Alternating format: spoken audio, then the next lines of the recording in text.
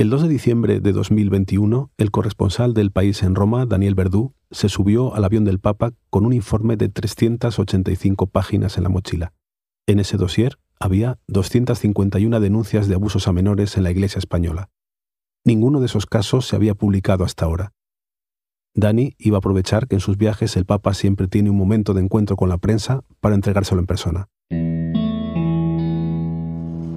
Sí,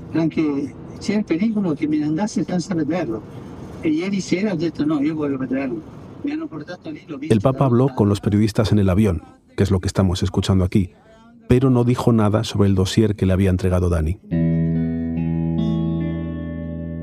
Sin embargo, una semana después, en cuanto volvió de ese viaje, el Vaticano comenzó a dar los pasos para abrir la primera gran investigación sobre la pederastia en la Iglesia española. Ese día empezó a cambiar todo. Piden una comisión. Podemos, Esquerra y Bildu han registrado la petición Sí, para la que se Fiscalía, al ver cómo siguen apareciendo en los medios de comunicación casos y más casos de abusos sexuales a menores cometidos supuestamente por la Iglesia, ha decidido tomar la El grupo de los iniciativa. obispos, la conferencia episcopal encargará una auditoría externa y ofrece su colaboración a las autoridades.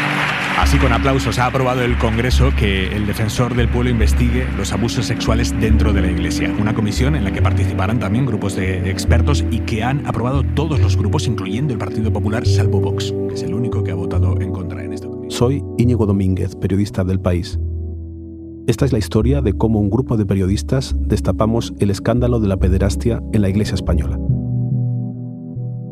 Lo curioso es que, en realidad, yo no quería investigar sobre este tema.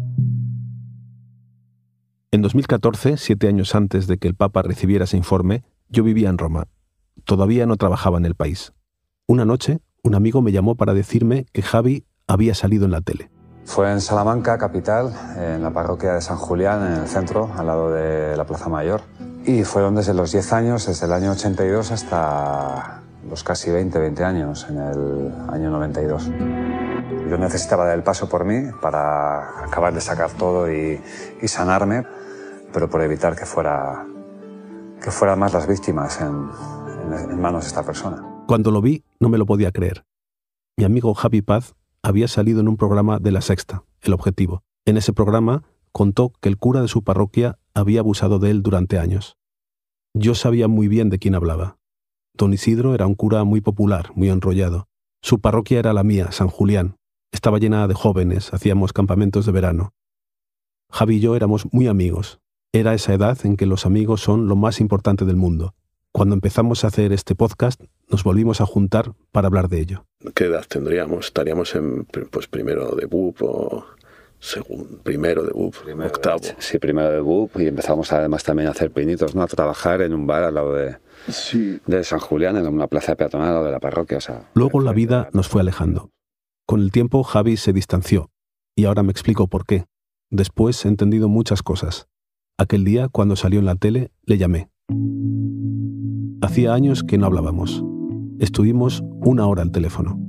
Cuando saliste en la tele, te llamé yo, pero te llamarían muchísimos amigos comunes o no. ¿Cuánta gente te llama? Eso fue una bomba. Con Ana Pastor salí en el objetivo. Yo creo que me llamaron, bueno, familia va a empezar toda. Eh, amigos infinitos y medios pues igual y víctimas igual. Pero en nuestra pandilla no te llamó nadie, entonces. Escuchar la historia de Javi, lo que había ocurrido en secreto sin que lo supiéramos, me dejó hecho polvo. De repente se derrumbó la idea que tenía de mi pasado. De hecho, cuando hablamos, sentí que me consolaba él a mí en lugar de yo a él. Ya me había tocado consolar a mi madre, a, a familia, eh, a mí mismo. Yo ya lo, iba pensando y lo había verbalizado ¿no? con más gente. Entonces el shock que eso produce a las personas cuando lo escuchan eh, también es lo que en parte genera como cierto rechazo, cierto... A, a lo que estás diciendo tú, porque tu verdad al final convierte toda su vida en una mentira absoluta. Para mí la historia de Javi fue algo personal. Nunca quise saber más, investigar, contarla. Es decir, nunca la vi como un periodista. Y así fue pasando el tiempo. Al año siguiente, en 2015, volví a España y empecé a trabajar en el país. Unos meses después, otro medio, el periódico de Cataluña, destapó el caso de los maristas en Barcelona, el primer gran escándalo de abusos de la Iglesia en España. Pero esa investigación fue un caso aislado.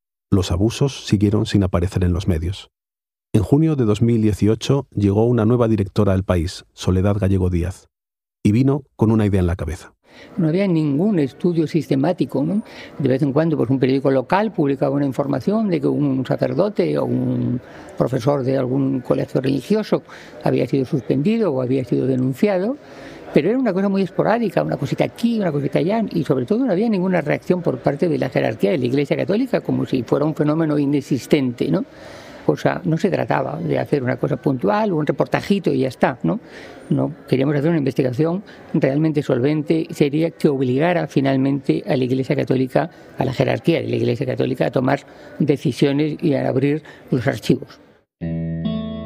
Como dice Sol, era raro que en España no hubieran salido a la luz más casos de abusos en la Iglesia. Solo podía haber dos explicaciones. Una, que efectivamente España fuera una excepción mundial, o dos, que no lo fuera, pero que aún no lo supiéramos porque nadie lo había destapado. En otros países esto lo había hecho la prensa.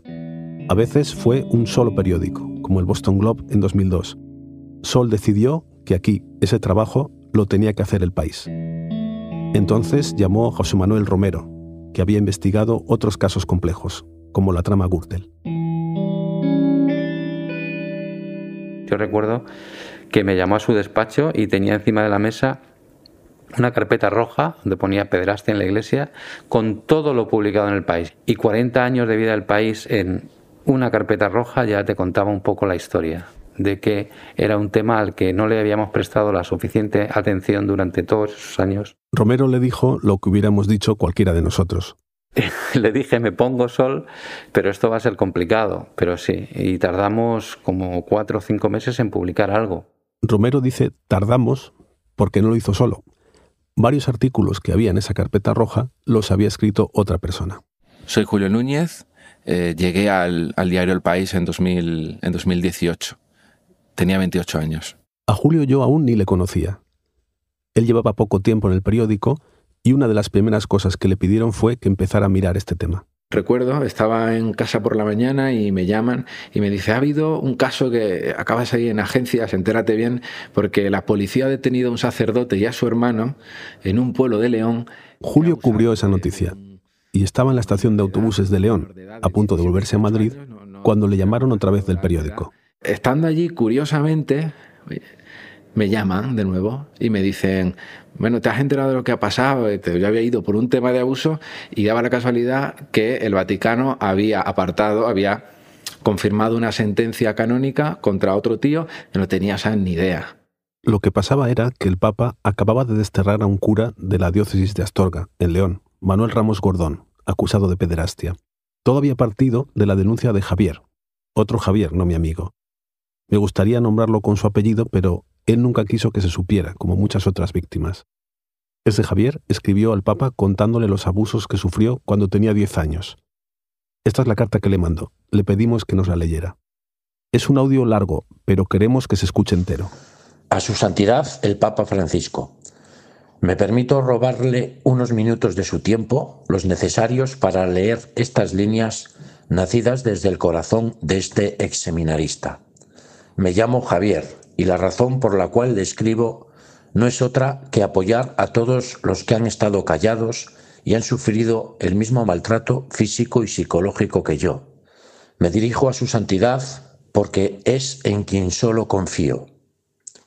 Los últimos acontecimientos me han hecho revivir mi experiencia y heridas que pensaba habían cicatrizado.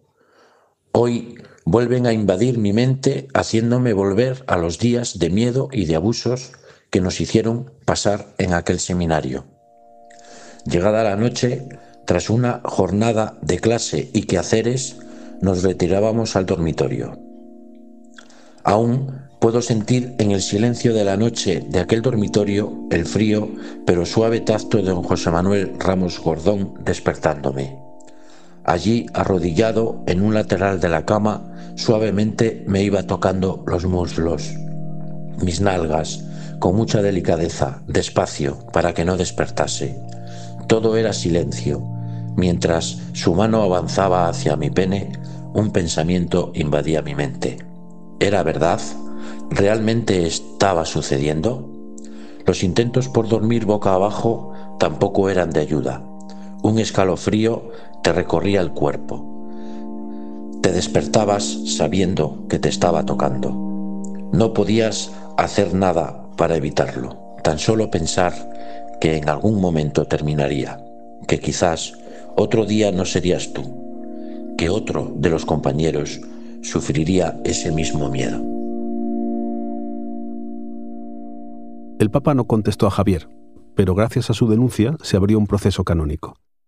Y aquí tengo que explicar qué es esto del proceso canónico. Es la investigación interna que hace la Iglesia con sus propios tribunales y la pena más dura es que el acusado tenga que dejar de ser sacerdote.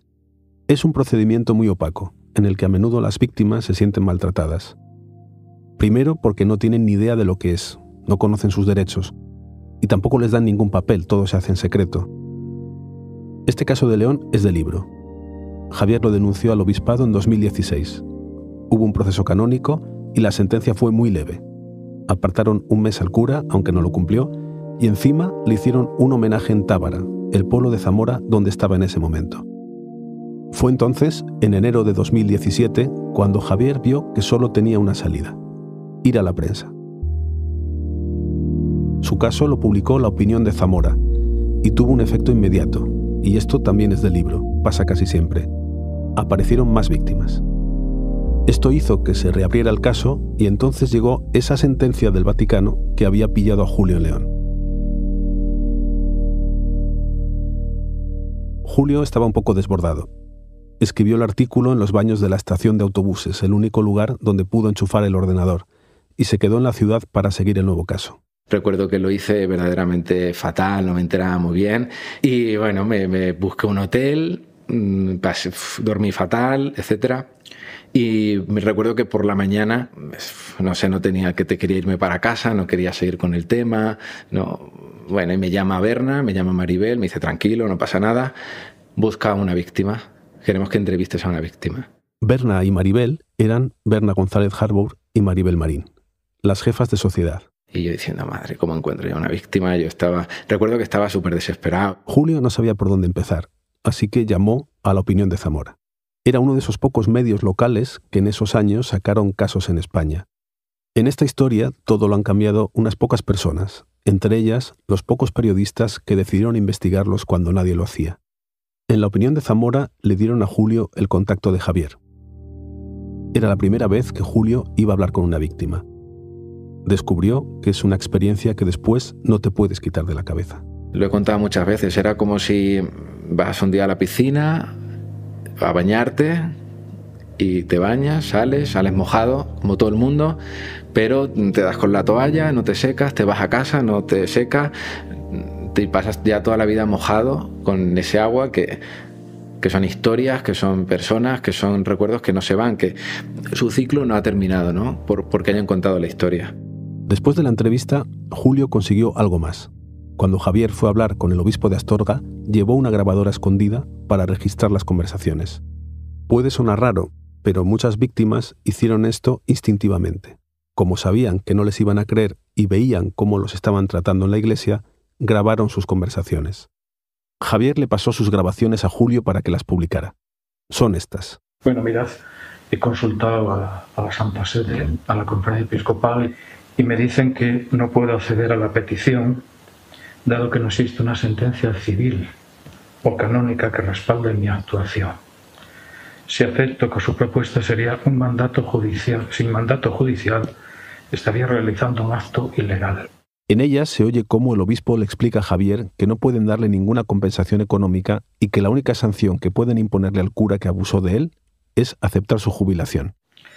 Por otra parte, yo he llamado al sacerdote para explicarle esta nueva situación. Y en la conversación, de nuevo me ha pedido perdón, a que lo transmita a la víctima y también a, la iglesia y a mí, por los hechos que hoy él repudia y me presentó su jubilación canónica. Si esto contribuye a subsanar los daños de, su actuación. Yo estoy dispuesto a aceptarla si a Francisco Javier le ayuda esta situación Entonces él pasaría a residir en la casa sacerdotal con los, los sacerdotes ancianos. Para él esto supone un trauma grandísimo. Es lo que, lo que, pudo, lo que puede hacer. El proceso canónico termina aquí.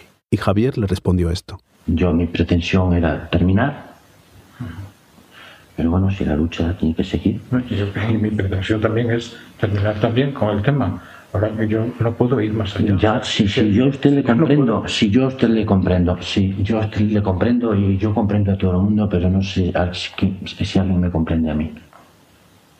O la conferencia episcopal, o la Santa Sede, no sé a mí quién me comprende. Bien, pero yo, yo, no puedo, yo no puedo ir más allá. Yo he consultado Bien. y me han dicho esto. ¿no? Yo no puedo ir más allá. Pues no, no me parece justo. A mí no me parece justo.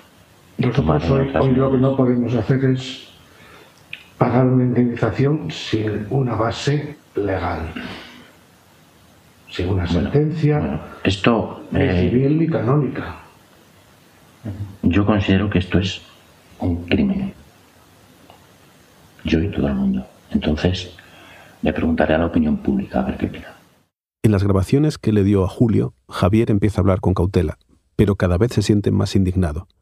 Y después suena hasta liberado por poder contarlo. Lo, justo sería que fuera reparado, que ese señor fuera a la cárcel, que el expediente saliera. al- Eso sería todo lo justo. Es todo lo que piden las asociaciones de víctimas, es eso, sería lo justo. Todo eso. Y ya dije el otro día que creo que estaba siendo muy razonable. Creo que soy muy razonable. Si eh, soy víctima y estoy encima apaleado, pues no. No lo va a permitir. Tenía 13 años y no me pude defender, 13 o 14. No me pude defender, pero ahora tengo 42. Y ahora me voy a defender. Y es lo que hay. Es lo que hay. Y no estoy tirando palabras al aire, ¿eh? Es lo que hay. Y ya está. Y ya no tengo más que decir. No tengo más que decir.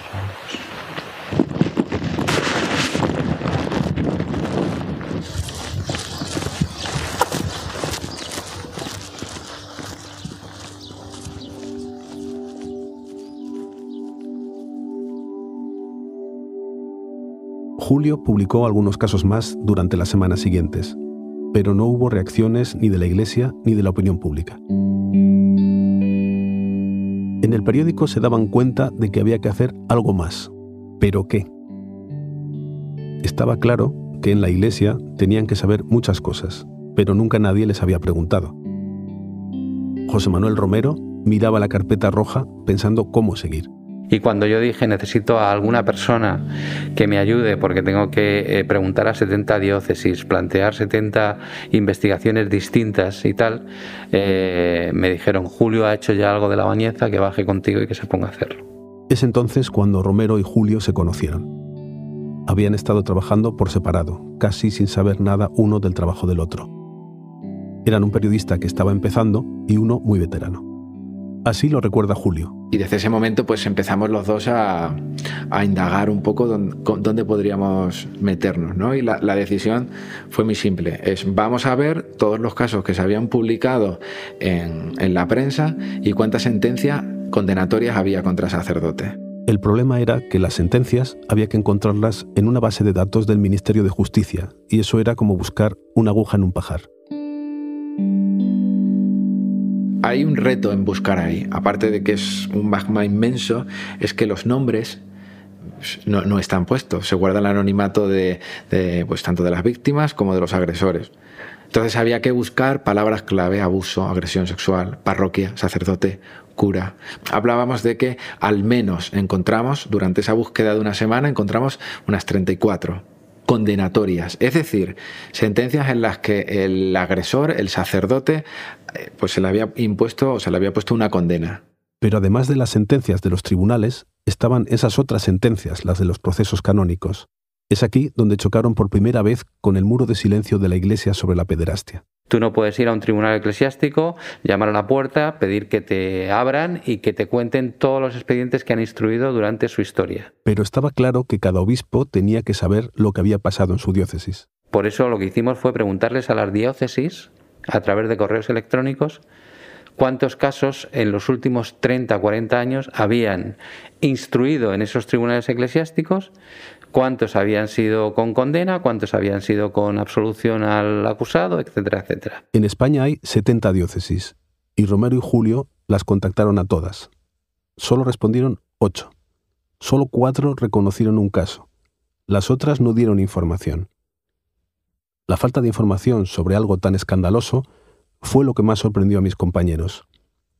Querían también que alguien de dentro de la iglesia hablara con franqueza del asunto, pero fue muy difícil. Nadie quería aparecer. Al final encontraron una persona. Gil Saez, el vicario judicial del Obispado de Cartagena, es decir, una especie de juez en los procesos canónicos.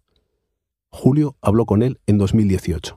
La Iglesia en España en el pasado silenció casos de... Por supuesto, sin lugar a dudas. Pero el, el, número no te lo podría cuantificar. ¿Pero más de 50 casos? Sí, por supuesto, más hay. Todas las diócesis del mundo, cuando llegaba una denuncia, pues cogían y decían, fulanico, te mandamos a tal sitio. Y en ese sitio seguía haciendo lo que hacían otros. Eso se hacía en toda la Iglesia Universal. Hay una película, Spotlight, que cuenta cómo un grupo de periodistas descubrió el gran caso de pederastia de la iglesia de Boston. Es muy conocida, hasta ganó dos Oscars. En la película se ve que en esa investigación hay un momento clave. Cuando los periodistas encuentran los registros donde aparecen los cambios de parroquia de cada sacerdote. Y eso les hace sospechar, porque hay muchos que cambian de destino continuamente los periodistas empiezan a tirar del hilo y se dan cuenta de que casi siempre, detrás de cada traslado, había una denuncia por pederastia. Mis compañeros soñaban con encontrar algún archivo así en España, pero no existía. Solo podíamos preguntar, pero no nos daban esa información. No sabemos si la información era grave, leve o, qué tipo de magnitud podía tener el problema. Si había habido cientos de casos, miles de casos, no lo sabíamos porque la Iglesia lo ocultaba. Ese gran silencio de la Iglesia era el mayor obstáculo para saber la verdad. Después de darle muchas vueltas, Romero y Julio concluyeron que ese muro de silencio era la historia que había que contar. Así nació el primer artículo en profundidad sobre abusos en el país se publicó el 14 de octubre de 2018, con este titular. La Iglesia Católica silencia desde hace décadas los casos de pederastia. Era la primera radiografía del problema en España, el primer intento de ponerlo en cifras. Y salían 34 casos en las últimas décadas. Los datos que habían conseguido sacar Romero y Julio de sentencias judiciales, de lo poco que había salido en prensa y de la nula respuesta de los obispos españoles. El silencio era la noticia, también el encubrimiento, pero eso era más difícil de demostrar. Lo cuenta Romero. Pues porque el periódico eh, pretendía eh, denunciar un problema grave, pero sin que la Iglesia pudiera denunciarnos por falsedad. Entonces, encubrimiento, estuvimos consultándolo con los abogados del periódico, incorporaba una acusación de delito, digamos y el silenciar era algo que no podían em, desmentirnos de ninguna manera, porque insisto que cuando pedíamos la relación de los casos eh, instruidos en los tribunales eclesiásticos, la respuesta de la diócesis era no os vamos a dar esa información. Pero era prácticamente imposible conocer nada relacionado con eh, juicios eclesiásticos a eh, curas pederastas eh, eso nos llevó a tomar la siguiente decisión, que era la de abrir un buzón electrónico. Aquel primer artículo acababa con esta frase. Si conoce algún caso que no ha sido denunciado o no está recogido en esta información, puede hacérnoslo llegar a través de la dirección de correo electrónico abusos@elpaís.es. Es una frase que luego escribimos decenas de veces en los siguientes artículos y que fue clave. Aquello fue como una puerta que se les abrió a cientos de víctimas que hasta entonces no sabían dónde ir. La idea fue de Mónica Ceberio, una de las directoras adjuntas del periódico. Me acuerdo de cómo llegamos al buzón y la razón básicamente fue que estábamos en un callejón sin salida, absolutamente. Convertimos el silencio en la noticia Y por otro lado, una vez publicado eso, sabíamos que por ahí no íbamos a poder avanzar porque la Iglesia no iba a colaborar. Fue cuando decidimos que cuando publicáramos esa primera historia, a la vez íbamos a sacar un buzón para que las víctimas eh, de abusos sexuales en España tuvieran un lugar al que acudir, ya que la Iglesia Católica no estaba abriendo esos canales. Y claro, la respuesta fue espectacular, espectacular. En las dos primeras semanas llegaron 400 mensajes y el periódico se dio cuenta de que había destapado algo importante. Yo siempre pienso, digo, si Mónica no lo hubiese hecho, la investigación del país se hubiese quedado ahí. no lo sé, podría haber avanzado por otro lado, podría pero claro, es que el buzón fue el cordón umbilical que unió a los, al país con las víctimas. La piedra angular de la investigación, la fuente. Entonces, el periódico vio que había que crear un equipo más grande, ya solo para poder responder a todo el mundo y valorar la información. A Romero y Julio se unieron otros compañeros, llamados de otras secciones del periódico, como un apoyo temporal. Uno de ellos fue Oriol Güell, de la redacción de Barcelona. Aquí entramos en un terreno nuevo, no había nada. Tenías que, que, abrirlo todo prácticamente. Te llegaba un teléfono, un nombre y cuatro líneas de una víctima y tenías que eh, empezar a escribir. Abrías una libreta nueva, página en blanco, empezar ahí a reconstruir, mirar los años.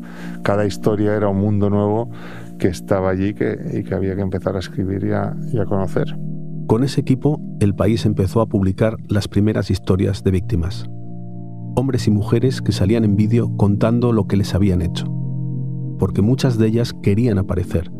Llevaban años esperando ese momento. Hola, soy Manuel Vilar, tengo 50 años y bueno, agradezco la oportunidad de poder hablar públicamente de esta soy historia. Soy Teresa y he sido víctima de violación y abusos sexuales por parte de un cura de la iglesia. Yo me llamo Leopoldo Martín, tengo 80 años y fui a un colegio donde abusaban de los niños.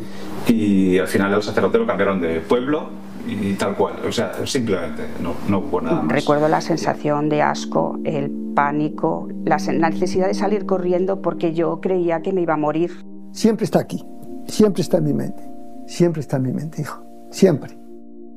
Eran testimonios muy impactantes y algo comenzó a moverse.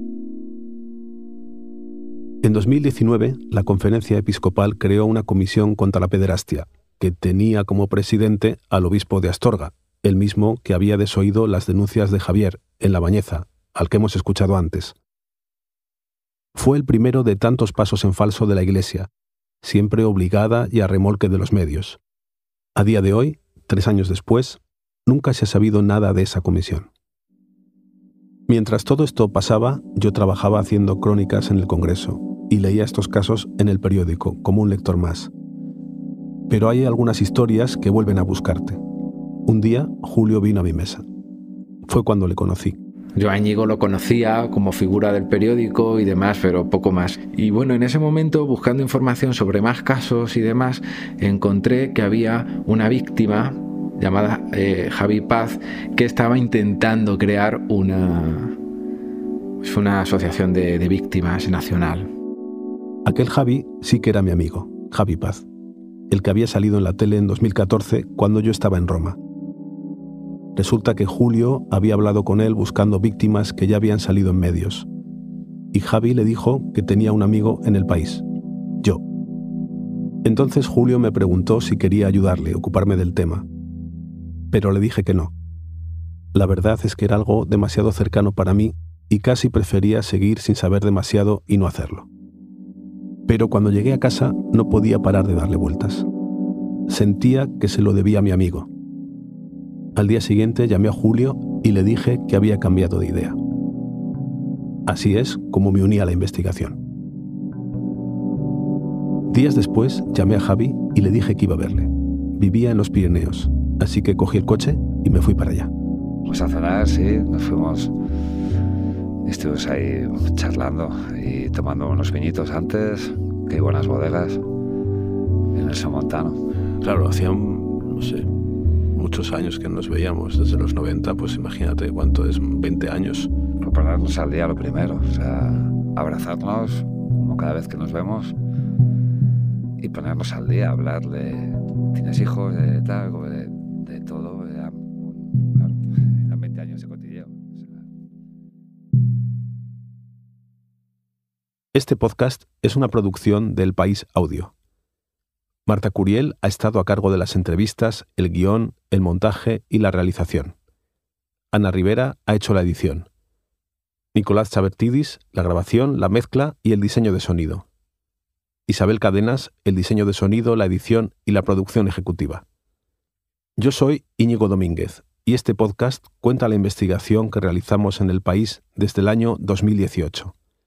La investigación sigue abierta, así que, si conoce algún caso de abusos que no haya visto la luz, escríbanos a abusos@elpaís.es.